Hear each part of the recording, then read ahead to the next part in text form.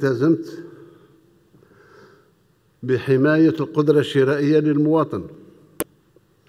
حماية القدرة الشرائية للمواطن بروافدها الثلاث أولا محاربة التضخم حتى نوصل نصل إلى تضخم لا يفوق 4 4.5% في المرحلة الأولى.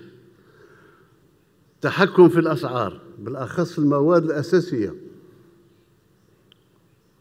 ورفع العلاوات والأجور مرة أخرى حتى نصل مثل ما توعدت به إلى في نهاية العهدة قبل نهاية العهدة نصل إلى كون رفعنا الأجور والعلاوات بنسبة 100% اليوم المتقاعدين نزيد نرفع من من حتى التقاعد نتاعهم حتى نسمح لهم في آخر عمرهم بالعيش الكريم لما أدوه من خدمات للوطن.